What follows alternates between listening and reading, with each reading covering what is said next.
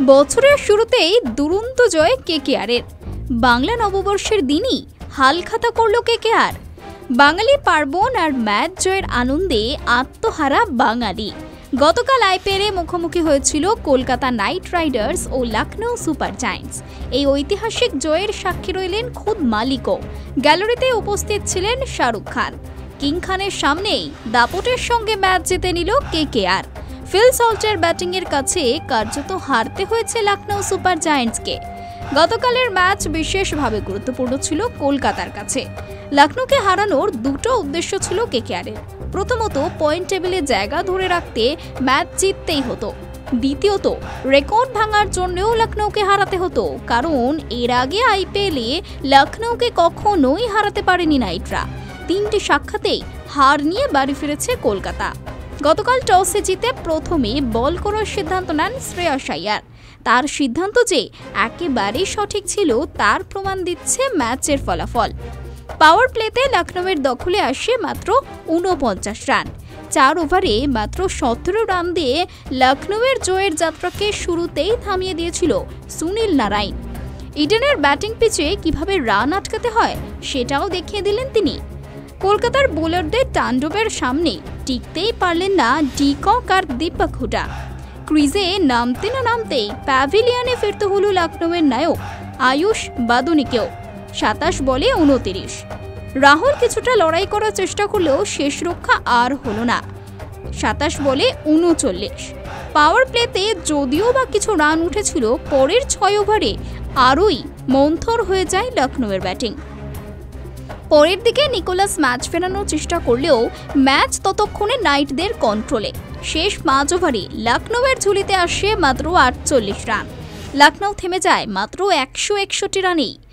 একই সাথে কলকাতার ম্যাচের হিরো হয়ে উঠলেন মিচেল স্টার্ক। সমস্ত সমালোচনার যোগ্য জবাব দিল তার বল। গত চার ম্যাচে তার পারফরমেন্স দেখে কম সমালোচনা হয়নি, তবে গতকাল নিজের জাপ চিনিয়ে দিলেন অজি তারকা। আঠাশ রানের বদলে তিনটে উইকেট নিয়ে গতকালের ম্যাচ জেতানোর অন্যতম কারিগর তিনি। সেই সাথে সঙ্গ দিলেন কলকাতার ব্যাটাররাও সাতচল্লিশ বলে উননব্বই রান করলেন ফিল সল্ট। বোলিংয়ের ক্ষেত্রেও লখনৌয়ের বোলিংয়ে মায়াঙ্ক যাদবের অভাব বারবার বোঝা গেল। নববর্ষের শুরুটা কলকাতার জন্য চমৎকার কেটেছে। একে তো ঘরের মাঠে ম্যাচ। সমর্থকদের পাশে পেয়েছিল কেকেআর। নববর্ষের দিনে অন্য কোনো প্ল্যান না করে মাঠে খেলা দেখতেই গেছিল কেকেআরের ভক্তরা। উপরি পাওনা আবার শাহরুখ খান। তিনিও মাঠেই ছিলেন। টান টান উত্তেজনা নিয়েই খেলা শুরু হয়। শেষমেশ জয়ের আনন্দেই ঘরে ফিরল ক্রিকেট ভক্তরা। বছরের শুরুতেই দুরন্ত জয় কেকেআরের। বাংলা নববর্ষের দিনই হালখাতা করল কেকেআর বাঙালি পার্বণ আর ম্যাচ জয়ের আনন্দে আত্মহারা বাঙালি। গতকাল আইপিএলে মুখোমুখি হয়েছিল কলকাতা নাইট রাইডার্স ও লখনৌ সুপার জায়ান্টস।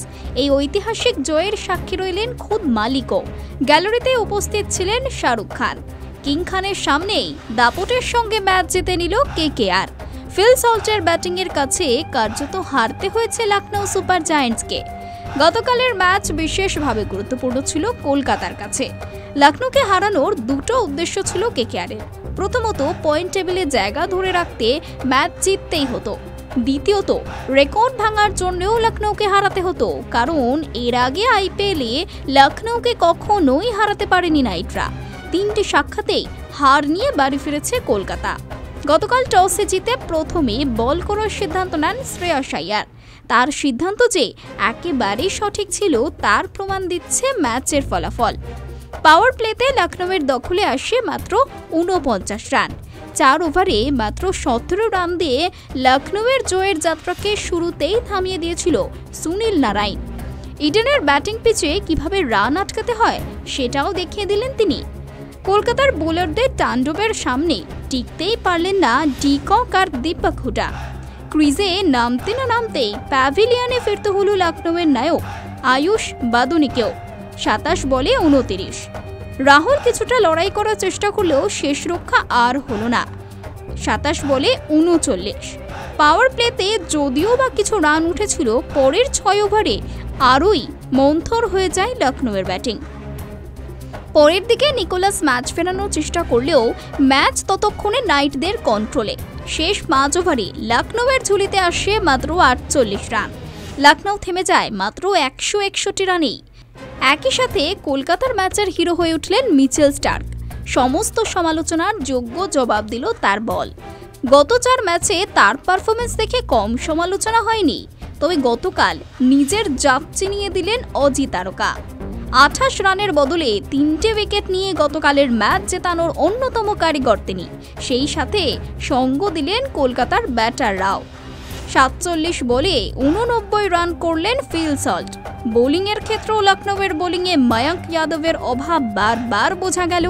নববর্ষের শুরুটা কলকাতার জন্য চমৎকার কেটেছে। একে তো ঘরের মাঠে ম্যাচ।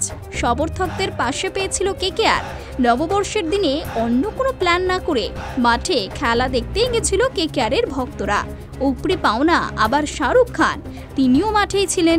টান টান উত্তেজনা নিয়েই খেলা শুরু হয়। শেষমেশ জয়ের আনন্দেই ঘরে ফিরল ক্রিকেট ভক্তরা। স্পোর্টস ব্যুরো, নিউজ বর্তমান।